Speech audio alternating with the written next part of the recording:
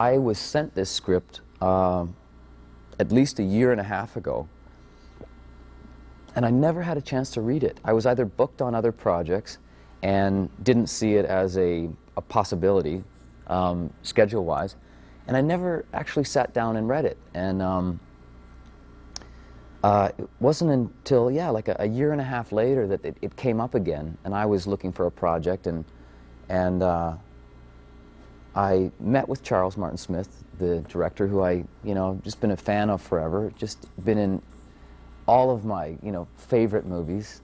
Uh, one in particular, which a lot of people haven't seen, that uh, Sam Peckinpah directed, called uh, Pat Garrett, Pat Garrett and Billy the Kid, and uh, you know Bob Dylan and uh, and all of these great uh, actors were involved in that movie. And I, I remember distinctly Charlie's death scene, and I, I had an opportunity to meet with him on Snowwalker and talk about it and and it was a great meeting. And I, I, we, I think we, we liked each other instantly. At least I can speak for myself.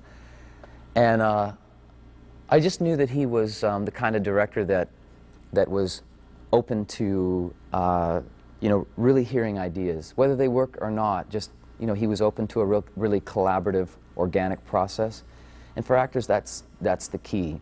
Um, you know, just allowing uh, the artist to be heard, whether those ideas are used or, or not, or they spawn other seeds of ideas that blossom into something else. Um, it it uh, is really, I think, the only way to work. And Charlie's very, very open uh, that way. You know, so, so when I eventually read the script, um, I realized that this was the opportunity that I've been looking for for all these years, trying to legitimize myself in the world market so that I could come back to Canada and have something to offer Indigenous film work. And this was the ultimate vehicle. I mean, I, I'm a, I'm a, I love the outdoors. I'm a real adventurer, and, and uh, so, you know, the character really spoke volumes to me. And I always can identify with characters that are flawed. You know, that they have a, take a really interesting. Uh, journey to redemption. You know, they come from a, from a, a place where, um, you know, they're, they're, uh, they're just ordinary men. They may be confused or they're, they're shattered from a, a you know, a previous life experience. Um, but they, they learn to overcome. And, uh, and it really is that transformation that I really identify with, you know. Uh, you know being a, an executive producer on Snow Walker has been just an incredibly eye-opening and, and, fulfilling um, adventure for me. I mean, I, it, this film has been uh, so extraordinary in the way that we've actually filmed it. I mean, going out into the tundra for five days on these monstrous uh, tundra buggies and living out there with a crew of 40 for, for five days in, in these bug-infested, mosquito um, wilderness, you know? I mean, it just, it just doesn't happen anymore. Filmmakers just don't do that uh, style of filmography anymore. You know, it, it's mostly sets and studios and, uh, you know, a little bit of location work, but you, you just, you never hear of people going out and camping out in a remote, faraway location where there are no amenities and no fancy, uh, you know, trailers or, or, or uh, you know, cast chairs or any of the, um, the trappings of, of uh, you know, usual Hollywood film sets.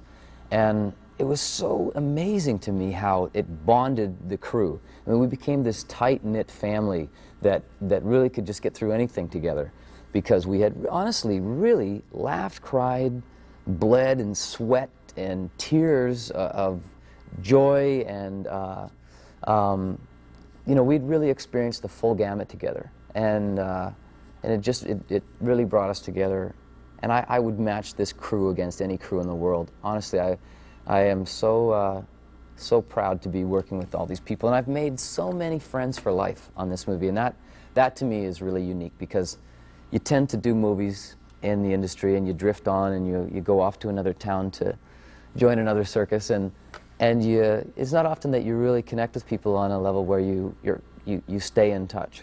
Um, but these people, um, have made such an impression on my life that I, I know that uh, we'll, be, we'll be friends for a long time.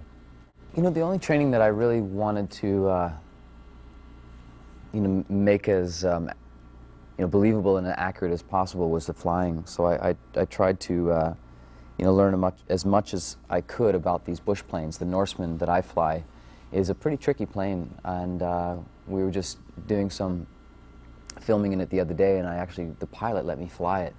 And uh, he did the takeoff and the landing, but once we were up there, I was doing all the, all the banks and the turns and the, and the, uh, you know, we have to drop from a 1,000 feet to 500 in like, you know, a few seconds when the plane is, is crashing, you know, the, the engine blows and, and we're racing towards the earth. And, and so uh, that was all really exhilarating. So I'm glad that I did my homework because, you know, he actually gave me the, the, the yoke and, and um, the pedals, and I was flying. And, and he got so into filming that he's, he's talking to the director and, and back in the, uh, the cabin and, and uh, going, yeah, so what's the next shot? And I'm like, uh, hello, you know, I'm flying here. But I really, you know, I really got the hang of it. It was exhilarating.